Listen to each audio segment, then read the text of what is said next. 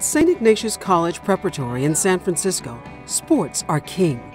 From football to track, 70% of the students take part in athletics. But one student at SI has to confine his activities to off the field. Senior Patrick Dunn has a genetic heart condition called hypertrophic cardiomyopathy, or HCM. Patrick has lived with HCM all of his life. I essentially found out about uh, hypertrophic cardiomyopathy because my dad had it. So we pretty much went to the doctor every year uh, just to make sure and see if it was passed down. Growing up, Patrick has always been extremely athletic and a good athlete at that. At one point when he's about nine, 10 years old, we decided, you know, even though Patrick's had no outward symptoms, he looks fine, he's doing great, we decided that we better check some. So we proactively went and looked. An echocardiogram revealed that Patrick's heart had an enlarged septum, the wall of muscle that separates the right and left ventricles. HCM causes heart muscles to thicken, making it harder for the heart to pump blood to the body. Patrick caught the disease in time, but some patients discover HCM too late. Olympic hopeful Ryan Shay, pro football player Gaines Adams, and Jason Collier of the NBA, athletes in top physical condition who died of heart failure caused by HCM. According to the National Institutes of Health, the disease affects 1 in 500 people worldwide, both men and women but it's not just athletes, it's, it's uh, non-discriminatory, so it affects non-athletes and people across all races. There are as many as 19 different human genes associated with HCM, and between 500 to 1,500 possible genetic mutations. Studying it in humans is a daunting task. Scientists needed an easier organism to study. Then they caught a break from an unlikely place.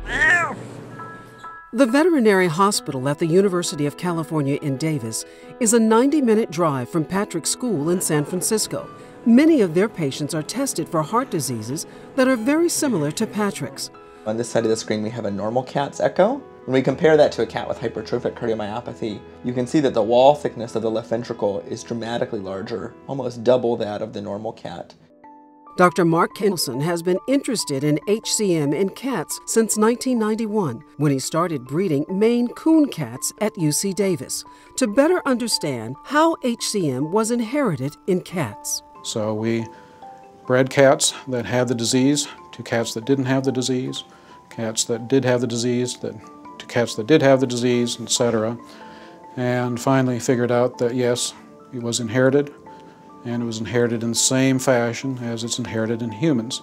Kittleson and his colleagues then proved that HCM in Maine Coon cats was caused by a genetic mutation similar to a mutation in humans. They discovered another genetic mutation in a second breed, the ragdoll cat.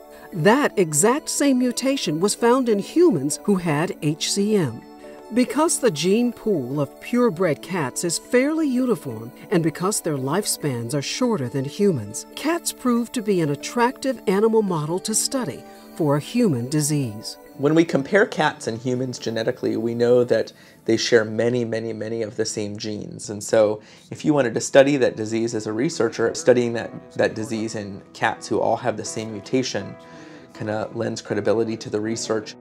Patrick Dunn continues to live a normal life with HCM. I still play soccer and basketball recreationally. I could still uh, shoot hoops. I just don't do it on an extremely competitive level where my heart's beating ridiculously, but it really doesn't make any changes. Studying cat genetics has deepened our understanding of hypertrophic cardiomyopathy in humans. But there's still more to learn, and only time will tell what further cat research may reveal about HCM and other human diseases.